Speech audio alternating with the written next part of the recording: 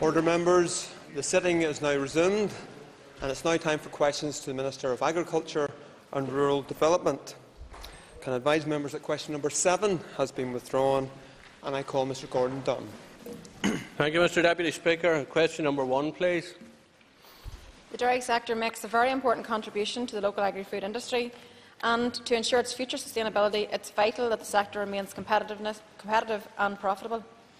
When milk quotas end, there will be no constraints on production and future decisions will be taken by the dairy sector in the context of input costs and market returns. Some turbulence in the market may be expected as other countries ramp, um, ramp up production, and this in turn could affect milk prices here.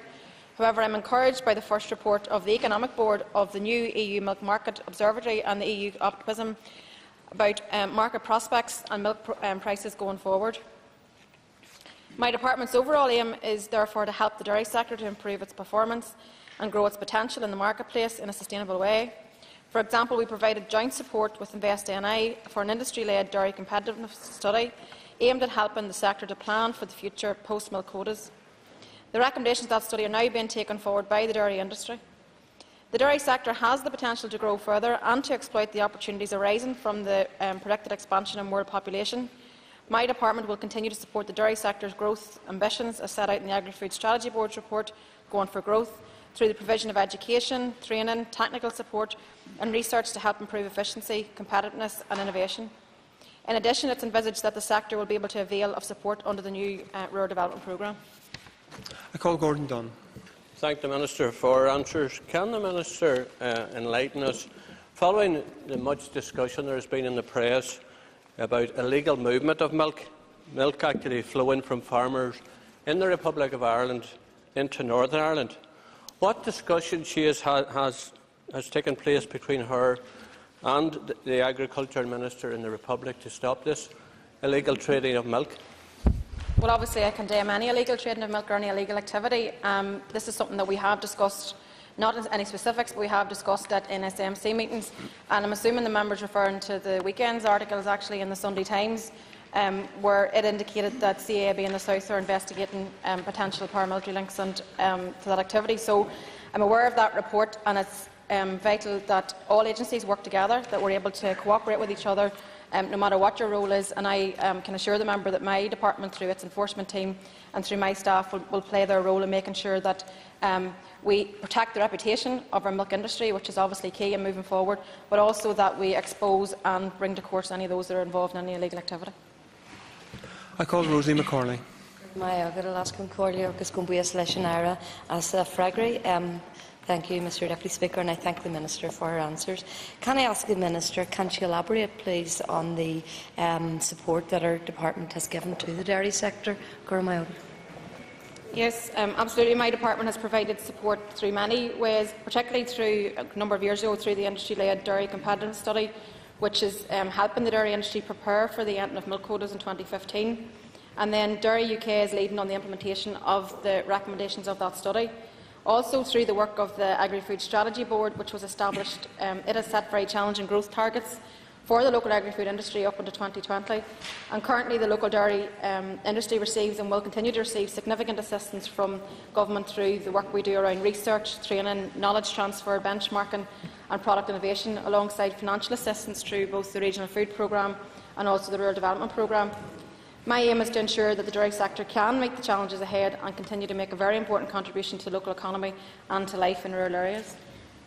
I call Pat Ramsey.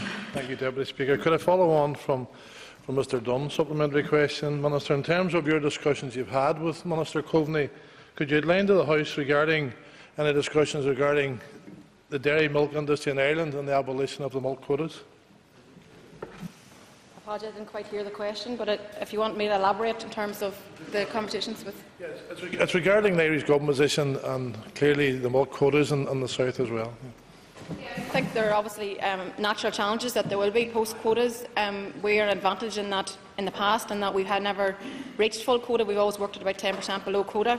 So, in a sense, quotas haven't um, restricted any production here. So, in a sense, that, that is a plus. However, and look until um, the future, there are obvious challenges right across Europe, but indeed um, with the growing world population, there are obviously opportunities which we need to exploit in moving forward. So We needn't look as quotas as a negative, whilst there are certainly challenges. I think the challenge for us is to make sure that we exploit other markets that may be open to our local industry, and also that we work right across the island because we can um, market what we have to offer right across uh, the new markets that we'll obviously be trying to get into. So there are obvious advantages in that, and that's been some of the conversation that I've had with Simon Coveney in the past.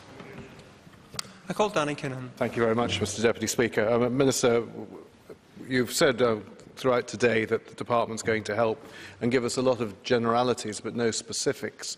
Could you be more specific as how we're going to increase our market share, how we're going to help the um, milk farmers and so on, please? Well, I mean, it goes without saying that um, the work that we've done around the Agri-Food Strategy Group, around looking to what are the challenges and opportunities for the dairy sector, and I want to be able to play my role. I think some of the key roles for the executive to play are particularly around exploring new markets. So that's you know going into other um, countries which we haven't maybe been before, looking at post quota, what, what, markets are open to us to be competitive. And so I think that there are many opportunities, and I want to play my role in terms of DARD supports for the dairy industry. So whether that be through the regional food programme, through the rural development programme, around the practical supports around innovation, research and development. So there are many levels of support that, that uh, can come both from my department but indeed from other departments to help this industry to be sustainable in the future. The industry have been very aware of the end of quotas from, um, for quite some time, so they have been preparing.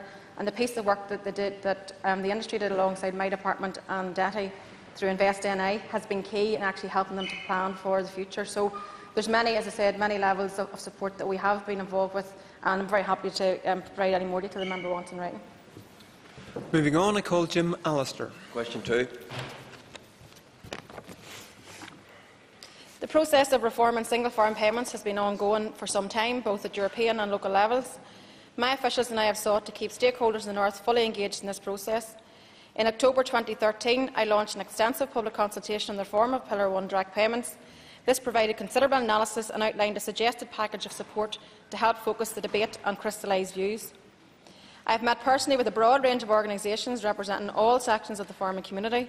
My officials have attended a large number of stakeholder meetings, which were attended by well over 3,000 people. It has been hugely valuable to me to hear from all sides in the debate as I work towards delivering a fair and balanced outcome. Everyone has had the opportunity to express their views and preferences in a very open and transparent manner. The formal consultation drew a huge reaction with over 850 responses received and I have already announced a substantial number of CAP reform decisions on which there was a significant level of agreement and which have been broadly welcomed. However, a number of key decisions remain to be taken. The allocation of almost £2 billion of taxpayers' money over the remainder of this decade has to be done carefully, wisely and fairly. Given the importance of the remaining decisions, I will take them to the Executive, and political discussions are ongoing and it is my intention to bring my proposals on these issues to the Executive in coming weeks. I am, of course, mindful of the 1 August 2014 deadline to notify the EU Commission of our implementation plans, and it is my intention that we will be uh, in a position to have an agreed CAP Pillar 1 structure before that date. I call Jim Allister. The Minister cannot be ignorant of the dire consequences for the farming community if we move immediately to a one-region flat rate distribution. Her own departmental figures demonstrate that beyond doubt. Apart from the platitudes about seeking agreement, what actual steps has she taken to seek consensus on this matter? When, for example, did she last meet with the key stakeholder on the producer side, the Ulster Farmers Union? And when she talks about a paper to the executive, has she yet tabled that paper to the executive? Uh, and is she just running Minister, down the clock to get her objective order, of a single uh, region? Members have an opportunity to place a question to the minister. Minister. Okay. Um, well, in relation to the decisions, we have taken quite a number of decisions to date, to date. However, there are some key decisions still to be taken, and I'm actively pursuing us getting to a stage where we have an executive paper that we can agree on. I don't think it's ideal that we go to a position where it's flat rate immediately very much so as part of the whole consultation exercise, and I have listened very carefully to the views of everybody concerned, and I'm only interested in a fair outcome and in a balanced approach to CAP reform. We are talking about serious amounts of money, serious amounts of taxpayers' money, and they should be distributed fairly. So in terms of taking a decision, there's a political process ongoing. I'm involved in that process, and I hope to be in a position in the next number of weeks to be able to bring an executive paper to the executive for agreement. I call Joe Byrne. Thank you, Mr Deputy Speaker. I thank the Minister for her answer. Can the Minister state at this stage if she has been involved in discussions with party leaders and with some executive colleagues in trying to reach a consensus paper that could be presented to the executive and end the uncertainty, given that Scotland also have now reached agreement? I haven't been involved in discussions with party leaders. There is a political process ongoing, and i am going to keep repeating that. Uh, there's no, nothing more else to add to it. In fact, the, the, the reality is there's a political process ongoing. And I hope to be able to bring the paper to the Executive for full discussion and hopefully agreement in the next number of weeks. I call Paul Frew. I thank uh, Mr Deputy Speaker and I thank the Minister for her uh, answers so far. I'd be a bit more focused than my colleague from North Antrim. Uh, given the fact that a flat rate immediate would be a shock trauma to the industry, what can the Minister do now today to reassure the farming community that that will not be the case? I think my track record speaks for itself. Over this, um, all the consultation processes, I have listened very carefully to all the stakeholders.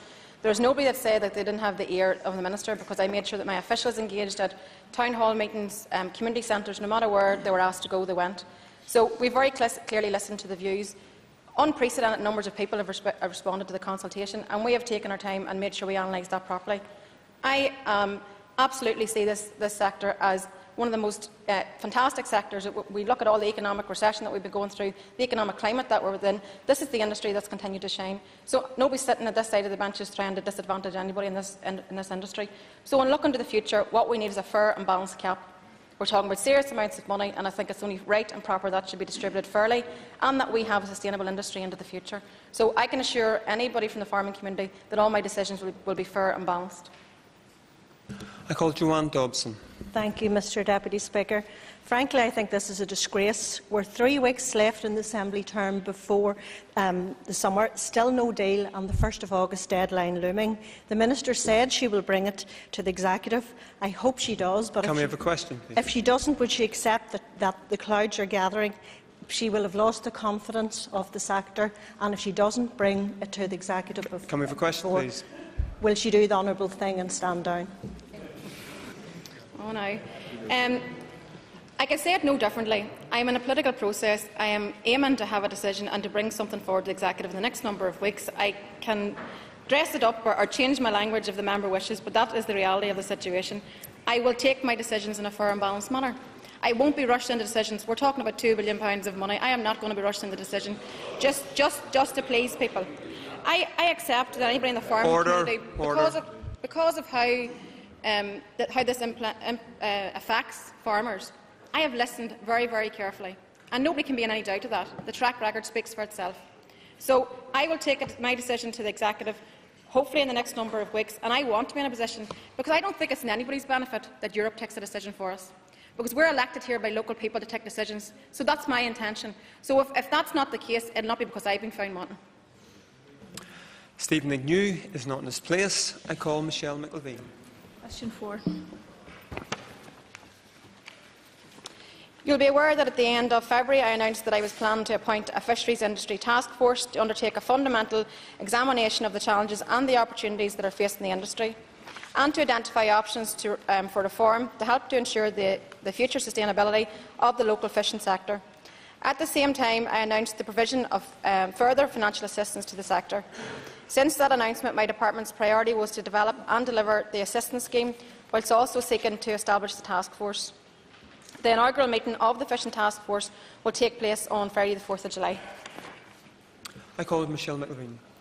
Mr um, Deputy Speaker, I'd just like to ask the Minister just to detail what will be on the agenda and whether this will include um, options for fishing vessel decommissioning scheme and if it's possible that fishing representatives will have the opportunity to um, pursue other agenda items through the task force. I mean, at the, at the first meeting, what I want the task force to do is to consider all the options and all the issues that they may want to scope further. And absolutely, a decommissioning scheme will still be on the table for, for discussion.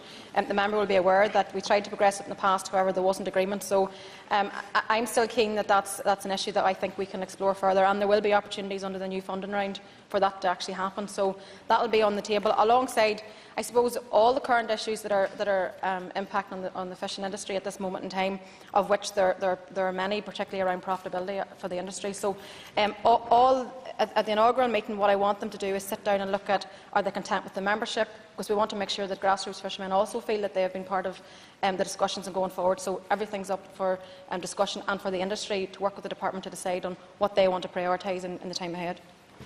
I call Oliver McMullan. I thank the Minister for their comprehensive answer. Could the Minister tell us what priority should the uh, Fishing Industry Task Force now consider? Well, as I said, priorities will include things like profitability for the sector, um, particularly for certain fleet segments, and actions that are going to be required to address that. So I think that the decommission scheme will obviously be on the table. The challenges around um, wind farms and, and the conflict, obviously, that's there there will be, I, I, think, quite a range of things. But most importantly, I think, and moving forward, will also be the new EMF um, funding stream and how that actually can be uh, got out on the ground as quickly as possible and the types of schemes that um, the fishermen want to see coming forward. I call Sean Rogers. Thank you, Mr Deputy Speaker. Minister, this time last year you announced um, funding through the European Fisheries Fund to include the establishment of a research and development fund specifically to look at fishing gear with very low catch rates for unwanted fish. Have you any update on that, please? I can provide more detail to the member in writing, but um, suffice to say that a lot of the, um, the gear trials have been going forward. Um, if you remember, the history of this is that um, Europe wanted to impose a particular type of gear on the industry, which is something that I opposed uh, and brought to the Commission. We, we then have um, now trialled quite a number of gear through the research project that we took forward, and, and that is ongoing. We still, there still are some fishermen favour some um, some type of gear over, over, over others. So um, there are obviously competing issues there. So that's still an ongoing piece of work. I call Kieran McCarthy. You, Mr De Deputy Speaker. Would the Minister agree with me that um, the time is long since past for talking, unless and until something drastic is done for to improve the lot of the fishermen, we're going to have no fishing industry left? And would she, um, is she closely listening to what the fishermen are telling her department? She did, in an answer to someone else earlier on, say that we are here as local representatives answering to the people. Uh, can you stand over that statement in relation to the fishing industry? Absolutely, that's, that's what we're elected here to do. Um, the reason that I'm establishing the task force is because sometimes fishermen don't always feel that their views are being represented, maybe even through groupings or also just even in their communication with the department. So my intention is that through this um, piece of work that we'll be able to, uh, I suppose, improve communication for a start right across the board, but also look to what we can do in the department to assist fishermen, and that's all fishermen. Moving on, I call Sandra Overend. Five, please. My department has played a key role alongside DETI's in supporting the Agri-Food Strategy Board both during the development of Going for Growth and also as we move into the implementation phase. This involved going, um, ongoing engagement with DFP in preparing proposed government response to the report. The Deputy Minister and I have jointly submitted proposals to the Executive on the way forward for Going for Growth and I am committed to delivering on its aims and its objectives. For example, the report identifies significant opportunities for export growth in USA, Africa, the Middle and the Far East, I have already visited China to talk to officials about the quality and safety of our produce. My department is also supporting access to new markets through the efforts of Supply Chain Development and Veterinary Service. Most recently, Singapore announced it was opening its markets from beef, uh, to beef from the north and northern beef sourced from southern cattle, and I am confident that others will also follow. Irrespective of the proposed market, any growth must be sustainable, and I welcome the view of the Agri-Food Strategy Board that any growth must be based on sustainability and profitability for the entire supply chain recognising the importance that each part plays in producing high-quality, traceable food. My officials are also continuing to liaise with their counterparts in other departments, including DETI and DFP, to progress agreed recommendations and have submitted bids to DFP to support preparatory work for a farm business improvement scheme. I call Sandra Overend. Uh, thank you very much, Mr Deputy Speaker. It has been 13 months uh, since the strategy was first announced and uh, we've seen very little uh, for that in, in, that time. The delivery, in fact, has been pretty pathetic. Uh, I, don't mind, I don't mind who the, the blame lies with, whether it's DARD, DETI or, or DFP but in the eyes of most farmers, uh, you're letting this, the sector all down. Can the Minister give a commitment that going for growth has not been caught up in some futile game of political brickmanship uh, between the DUP and her party over the issue of welfare reform? I can give a guarantee that I'm as committed as I ever was to the Agri-Food um, Strategy Board report. Um, as I said, I have uh, sent to the Executive my response to it, and I don't think it's fair to say there's been no progress to date because there actually has. There's been quite a number of areas of work across other departments, including my own, uh, in terms of um, progressing the, the asks of, of the document. And I'll run through just a very short list of some of the things in my department around the deferral of the export um, health charges that were identified, identified even as an obstacle to export. Um, Agri-food proactively promoted in China by myself and then also uh, Japan by FMDFM. We have a, the opening of the Singapore market to beef. We've had continued work on developing the new rural development programme, which is, um, the member will be aware, I've always said is key in terms of delivering some of the key asks of the Going for Growth um, strategy, particularly around a farm business improvement scheme. We've had an increase in the number of DARD um, postgraduate courses, which was an ask. We have now uh, created a dedicated um, contact point at AFBI for research and development in terms of EU funding. And we've had the reopening of the manure efficiency technology scheme. So it's incorrect to say that there hasn't been anything done to date. There is quite a lot of work that's um, ongoing, and that's just in my department. However, I want to see the finalisation of the report of the executive sooner rather than later. I call Fearghal McKinney. Thank you, uh, Mr Deputy Speaker, and can I thank the, the Minister for answers thus far. Given that £250 million was originally envisaged for this scheme, can the Minister outline exa exactly what executive funds have been targeted and agreed with a suitable timetable uh, to implement a Going for Growth implementation plan? As I've said, the, the, response to the document from both myself and the Daddy Minister is with the Executive and we're waiting for discussion on that any day. And the key ask in that document is £250 million, for the, particularly for the Business Improvement Scheme. And this is key for the sector. This is things we can look at around land management schemes, around fencing and, and um, sheds for farmers. These are key needs in the industry and something that I'm very keen to have signed off and us be able to implement those bigger projects sooner rather than later. I call Ian Milne. Chun Collier agus mo bhuichas an air agotí seo. Could ask the Minister uh, what impact has 0% uh, transfer will have on the delivery of Going for Growth? The member will be aware that um, the, one of the key tools for us to be able to deliver on the Going for Growth strategy is around the Rural Development Programme and the new Rural Development Programme, so it's absolutely vital that we get sufficient funds. And I've said clearly that as a result of not being able to transfer money, that the Executive has to step up to the mark in terms of delivering on the additional financial support that we need to be able to do that. So, as I said, I remain committed to delivering on the aims that are set out in the strategy and I'm exploring all options available to be able to achieve that. And I think, as I said, I believe it's more vital than ever before that the Executive provides the funding and the support to help this department to be able to deliver on the objectives that are set out in the Going for Growth document, because all um, parties, and particularly in terms of myself and the Deputy Minister, signed up to this document. And it is a fantastic piece of work, and it would be a shame for it to sit on this shelf and not be taken forward because of um, a lack of investment from the Executive. I call Michael Copeland. Um, thank you very much, Mr Deputy Speaker. Question number six, please. Uh, as you will be aware, um, I remain committed to relocating my departmental headquarters to the former, former military site at Ballykelly. Since I announced my intention, I and my officials have kept staff fully up to date with developments. My Permanent Secretary has very recently written to all staff in the Department to inform them that a paper on the business case for relocation is with my, me, is with my executive colleagues for consideration and he has committed to providing further regular updates as required. Consultation with staff and their representatives continues through our agreed industrial relations mechanisms, known as the Whitley Arrangements. A subcommittee of departmental and staff representatives meets monthly, specifically to consult formally with NIPSA on all issues relating to relocation. More recently, a further subcommittee has been established to consider all the HR issues around relocation.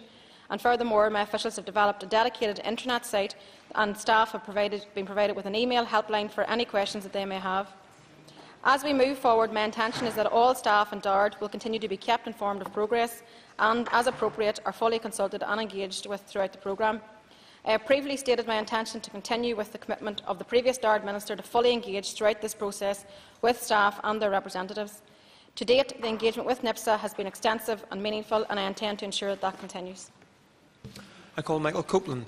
Um, as always, I thank the Minister for her answer. Could you give us some idea of her estimate of the number of staff currently working in Dundonald House who, for whatever reason, may be unable or unprepared to move to the North West? And what realistic chance is there of having all these staff being offered alternative positions in the Greater Belfast area? The member will be aware, I don't have the exact figures with me, but the member will be aware that when we did the, the initial staff survey, we did them in phases. We did first the DARD HQ staff, then we did the wider DARD staff and the wider civil service staff.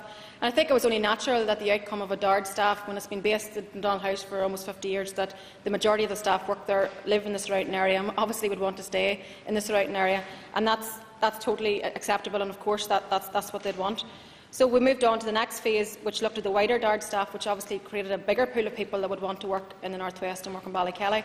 And again, that was the case whenever we came to the staff surveys for um, the wider civil service. So I'm confident that there will be opportunities that for, in terms of transfer across the civil service, but also um, there will be enough staff to actually staff a, a new headquarters in Ballykelly.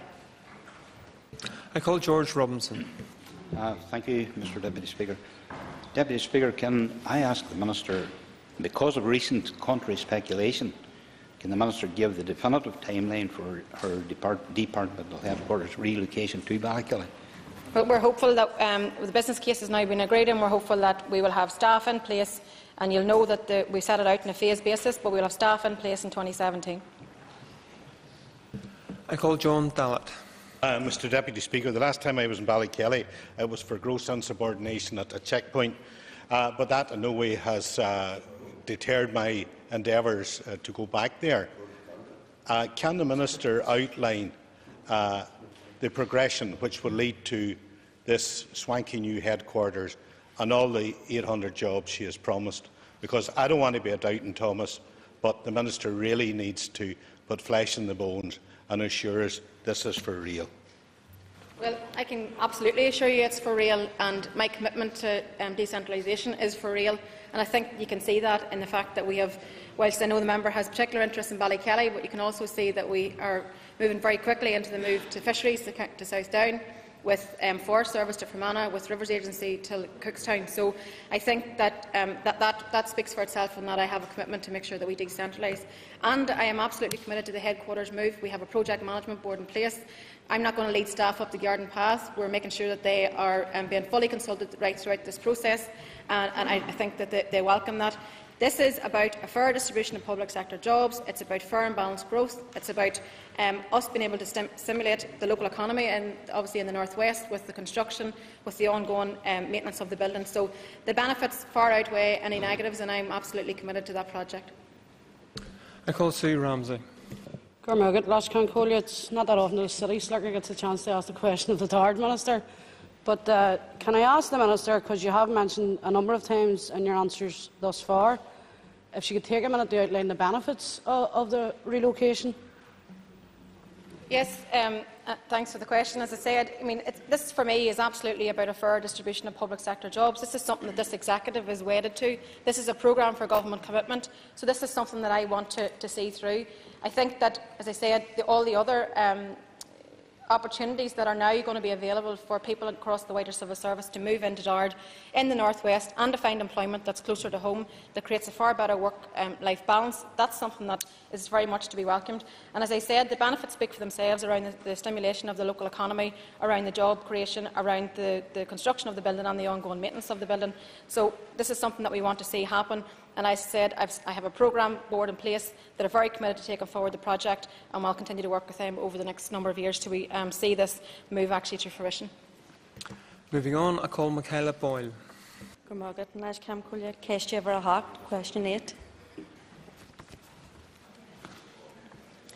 Work on a new purpose-built government building on the site of the current Social Security Office at Urney Road, Strabane, is due to begin in autumn 2014.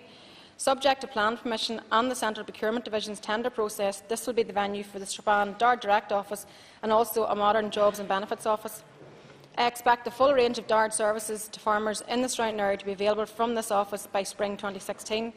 When delivered, the Strabane DARD Direct Office will complete the full rollout of 12 DARD Direct offices across the north.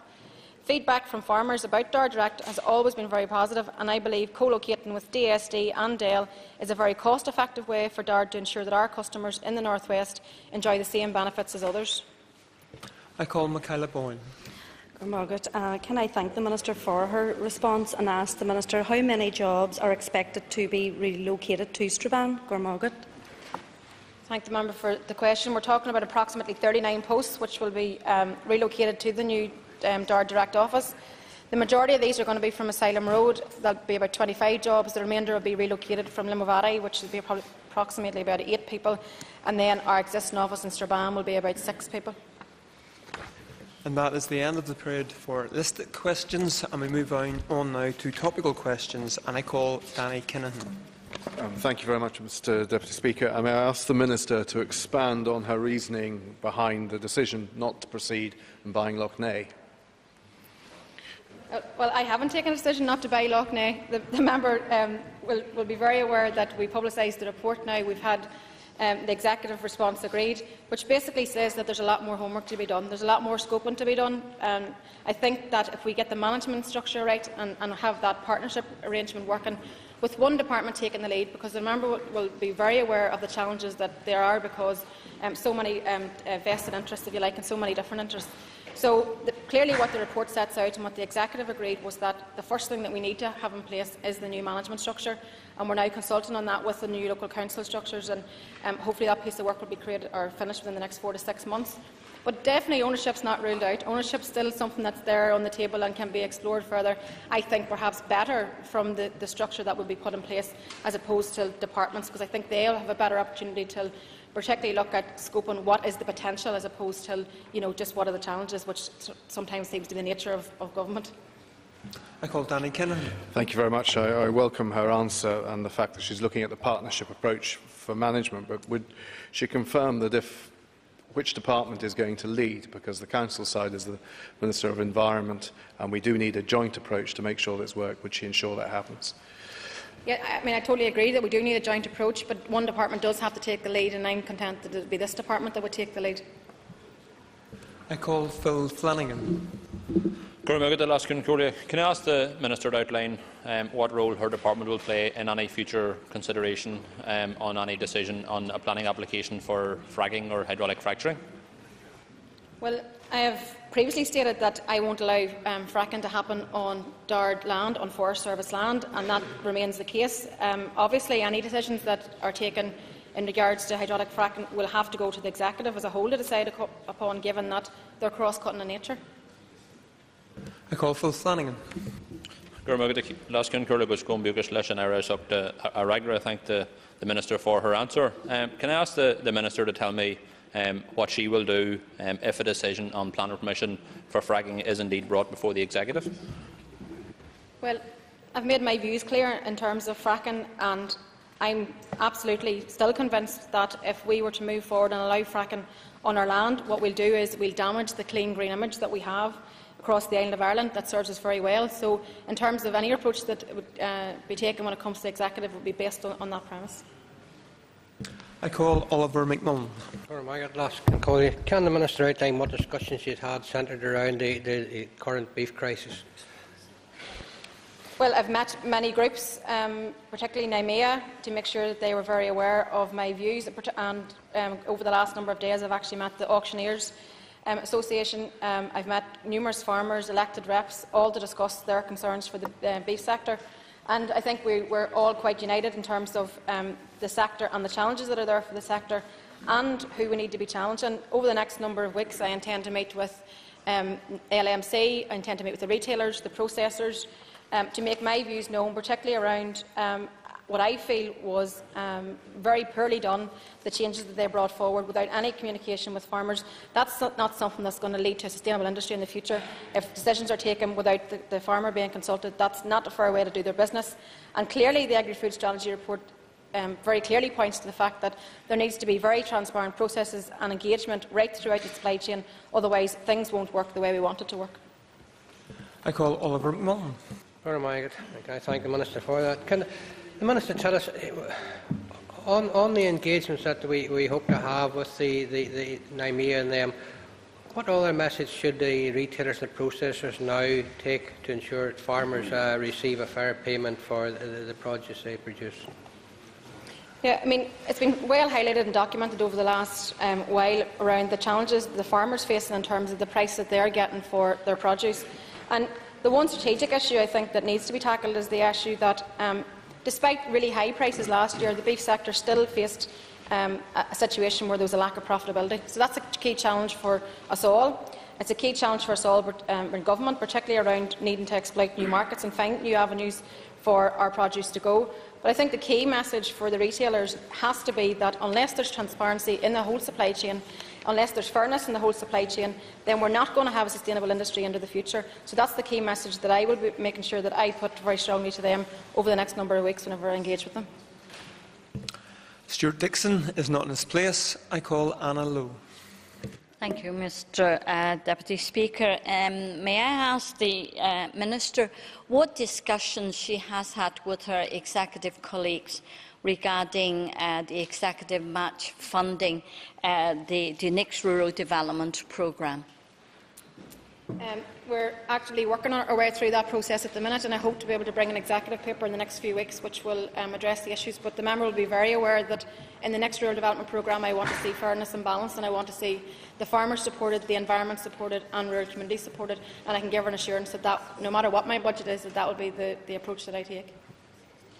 I call Anna Lo.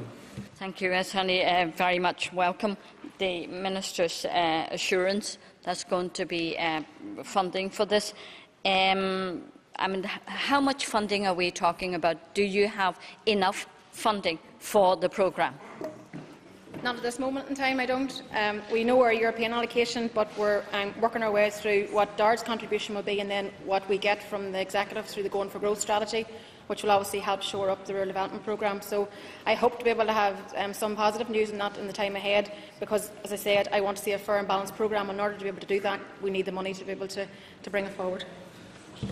Moving on, I call Tom Elliott.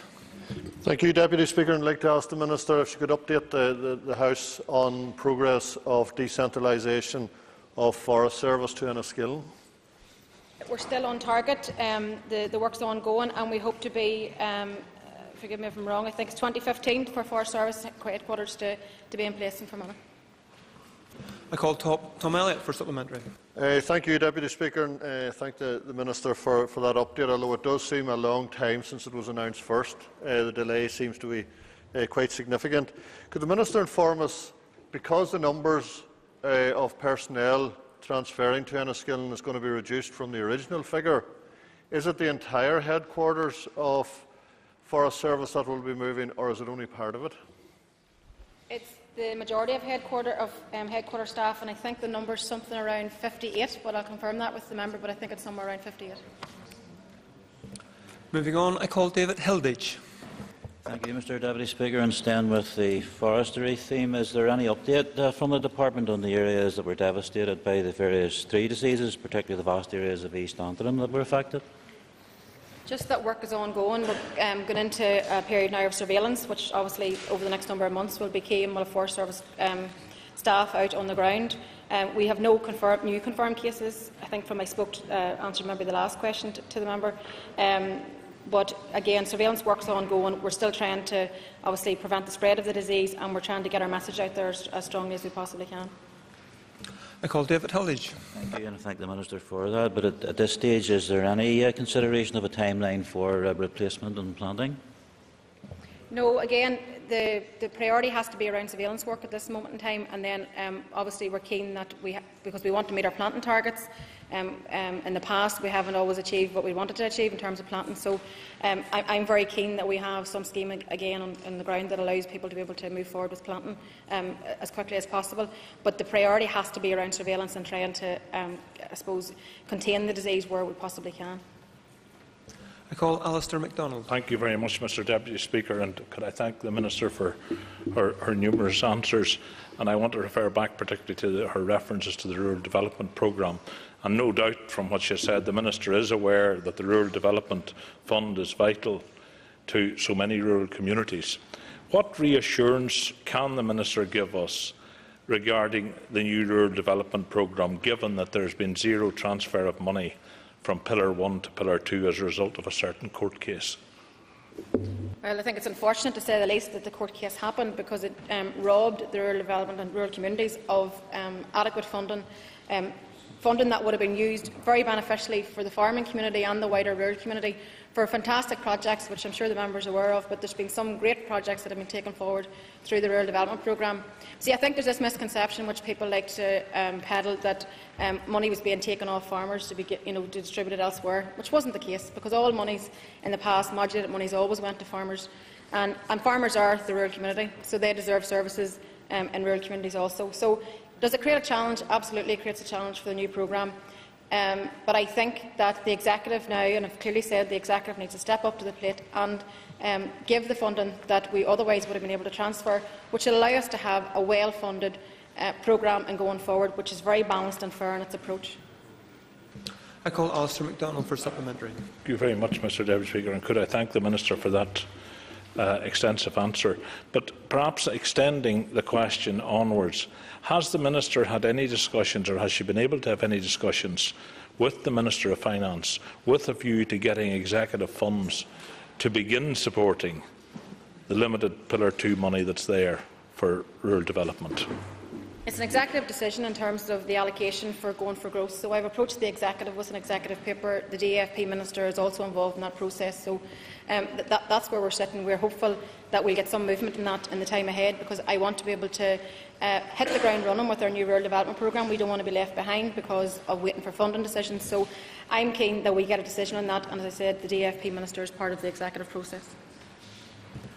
Cathal Boylan is not in his place. As the next period of questioning does not take place until 2.45, I suggest the House should take its ease for a few minutes.